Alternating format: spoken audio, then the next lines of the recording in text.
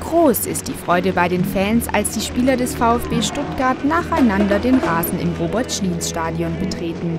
Der erste offizielle Auftritt des Bundesliga-Aufsteigers nach der großen Meisterfeier Ende Mai und damit zugleich gestern Abend der Trainingsauftakt für die neue Saison.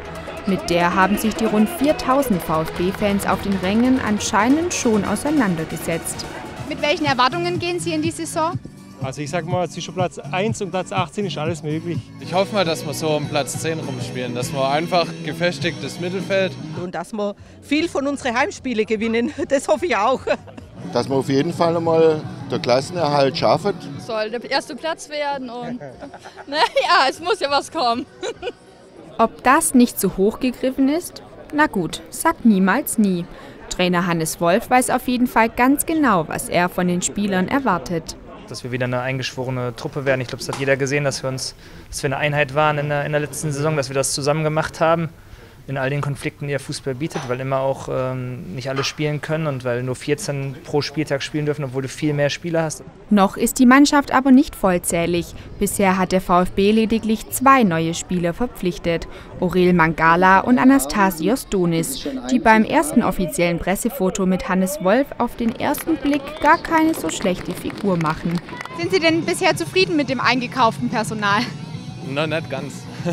Mir fehlt immer noch ein Innenverteidiger. Gerade in der Abwehr hinten sind wir nicht so gut aufgestellt.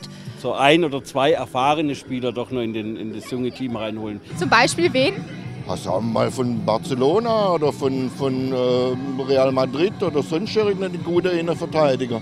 Aber das ist ja utopisch, da kostet der Verteidiger so viel, wie der ganz VfB wert ist. Was sagen Sie dann zu den neuen Spielern?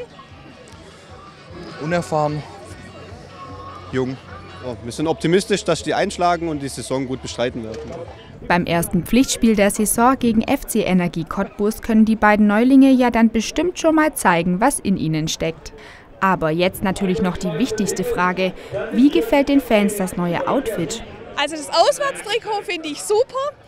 Das Heimtrikot ist ein bisschen gewöhnungsbedürftig. Das hat einen Trauerrand, das sieht halt ein bisschen komisch aus hat viel größere Ausstrahlung. Mir gefällt's. Und so ein paar Autogramme von seinem Lieblingsspieler macht doch jedes Trikot am Ende zu etwas Besonderem.